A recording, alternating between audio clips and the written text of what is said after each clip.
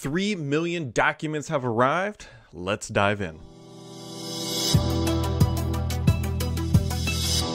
My friends, if you thought we would go a week without talking about the Xbox $70 billion Activision transaction, you would have lost that bet because just this week, 3 million documents. I don't know about you guys, but 3 million documents is an absurd amount of documents. I get upset when there's like eight unread emails in my inbox, but 3 million documents related to Sony, Xbox, Microsoft, Activision, UK, the CMA have have basically been dumped onto the market. And so this was expected because obviously when you go to court and these things are very public, we get to see Sony's side of the argument now from the flesh and blood of the actual documentation of what they filed in the courts.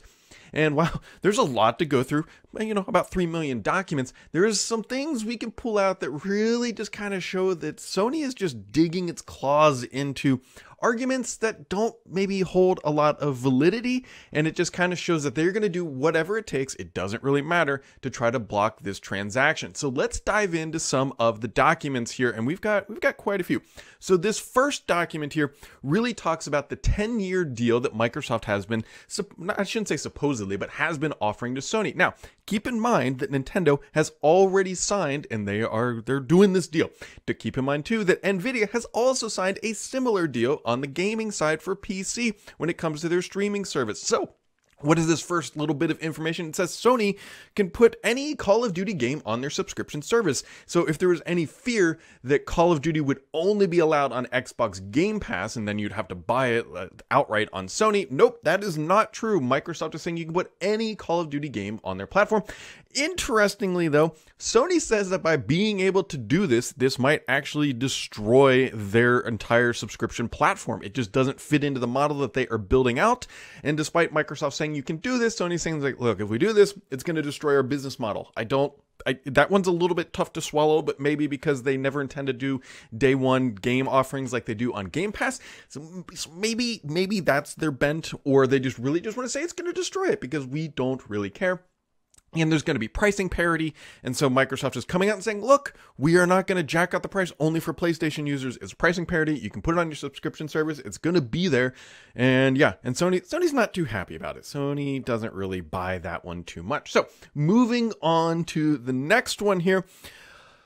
Ooh, uh, this one is the most hilarious of all the ones, I, I, think, of all the concerns, but I guess maybe there's some validity to it as well. So, what Sony is saying here, and you can read this whole thing, is that they believe Microsoft could intentionally introduce bugs into Call of Duty and just make it uh, just a buggy experience so they could degrade the experience and not take and you know they'd find a bug and take their time and Microsoft is not going to do the right thing and and put a good game out and do the best that they can to make it feature complete with Xbox because Xbox will be the bug free version.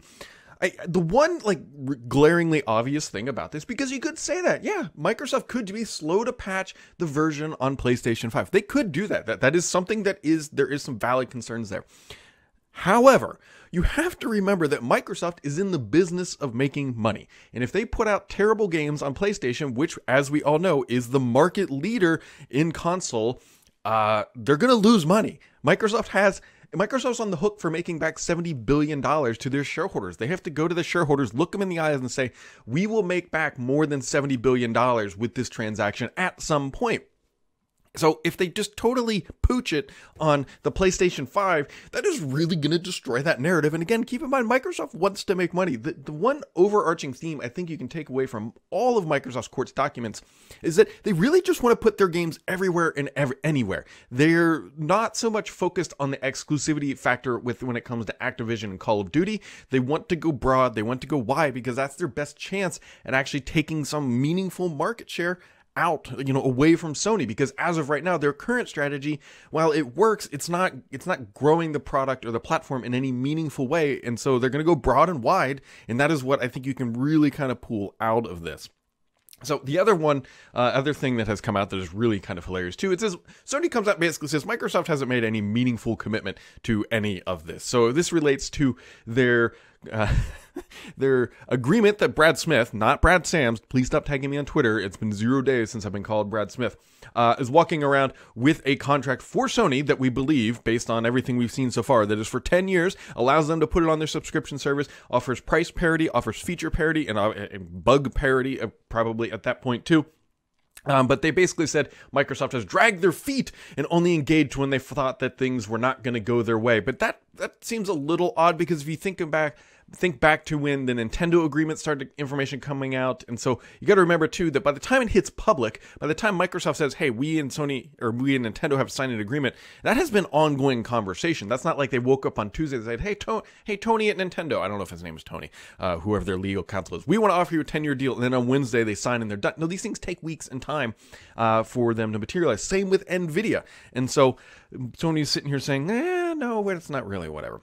But I will tell you, my friends, the piece de resistance uh, of all of these conversations, this tweet right here from Lulu, it says, the CEO of SIE answered, and SIE meaning Sony Interactive Entertainment, answered the question in Brussels in his words I don't want a new Call of Duty deal. I just want to block your merger. Now, you might be saying, who is this random person quoting the CEO of Sony Interactive Entertainment?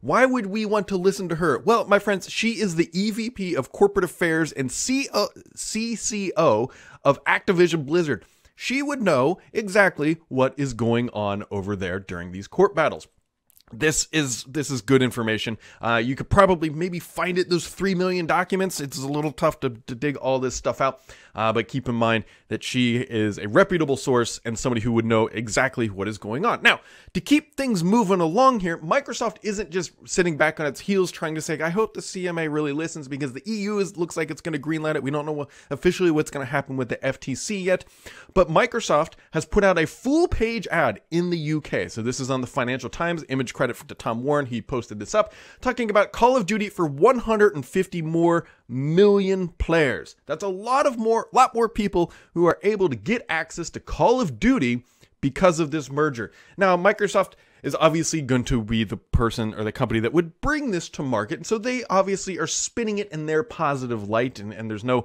antitrust or any concerns here because 150 million more people will do this. But again, this shows that Microsoft is not leaning back saying, well, we'll just wait to see what the CMA will do. We'll steamroll. They are really going for that public perception steamrolling because they think they've got a good deal and they think that this is something that can make a lot of sense. And they, they're, you know, they're giving it their best shot, I think is what we can take away at the the end of the day. This is just been a little bit of limelight, a little bit of sunshine, a little bit of light, if you will, on those 3 million documents. I suspect a lot more is going to come out over the next few days as we understand how Microsoft positioned itself, how Sony is positioning itself, and what you should do is keep it subscribed here because the only BS on this channel is me.